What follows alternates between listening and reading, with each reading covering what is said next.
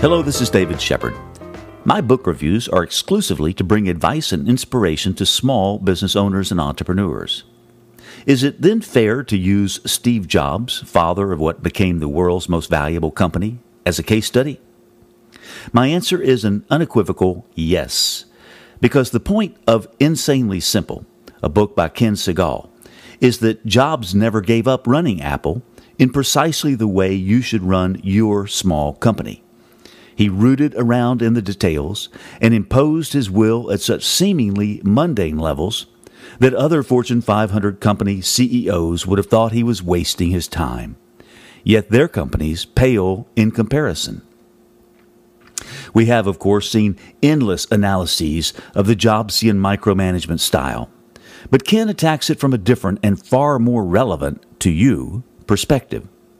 Jobs, he insists, who was famous for predicting that products would be insanely great, knew that such products could only emerge from a company culture that was insanely simple. Insanely Simple, the obsession that drives Apple's success, is a terrific book for entrepreneurs. Every small business owner in America should read and study this well written book. Ken is an advertising executive who has served as creative director for companies such as IBM, Dell, Intel, and BMW. He also worked closely with Steve Jobs for more than a decade. Close enough to have his share of stories about midnight calls and sudden eruptions. Ken's humor is refreshing as he retells some riveting stories and his own survival strategies, such as knowing when to get out of the line of fire. What Ken writes about is Jobs' obsession with simplicity an obsession that I believe is more important to the small business owner than any other. But as an entrepreneur, you should heed what Ken makes apparent on page after page. Simplicity is not easy. In most cases, it is the opposite of easy. Simplifying requires the courage, in many cases, to do less. Simplifying requires eliminating benefits, something abhorrent to most marketers. The failure to simplify is why Dell was at one point offering 18 models of laptops, each with an array of possible configurations. At the same time, an Apple customer had little more to do than decide between a large screen or small. Speaking of small, Jobs understood that small correlates to simple in a variety of ways. Perhaps he understood the mathematics of factorials or the physics of entropy, or perhaps it was just gut feel. But for Jobs, even one extraneous person at a meeting sowed the seeds of future complexity in the form of additional emails, invitations, and additional CYA. He considered this so threatening that he was known to stop in mid sentence when he identified someone in a meeting whose role he did not know and asked them to leave.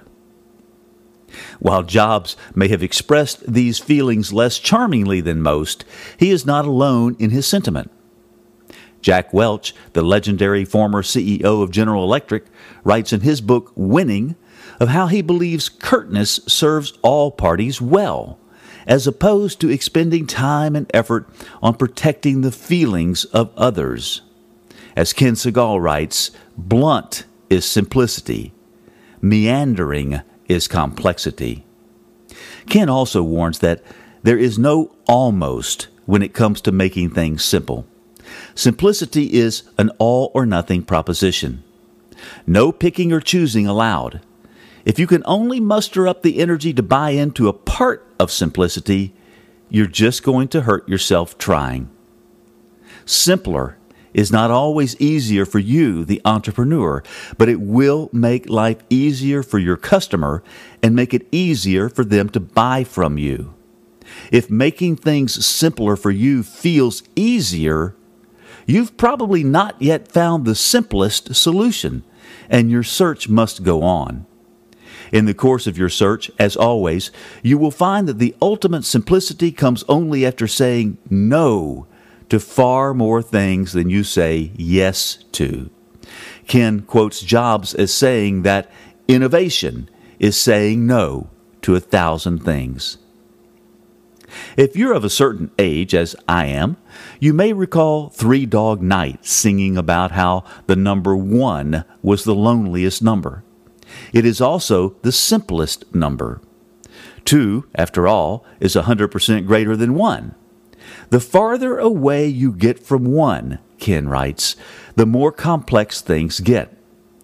That is why, at the time when cell phones were chocked full of buttons that had to be pressed in various combinations, Jobs told his disbelieving engineers exactly how many buttons the iPhone would have.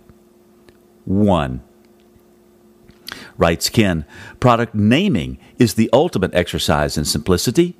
It requires one to capture in a single word, possibly two, the essence of a product or company, and in some cases, create a personality for it.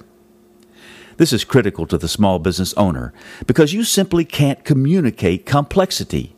You don't have the budget or resources, and there is simply too much noise in the marketplace for you to break through with anything other than a single laser like focus. Complexity is what will tempt you to create multiple products, multiple layers, multiple memberships, etc.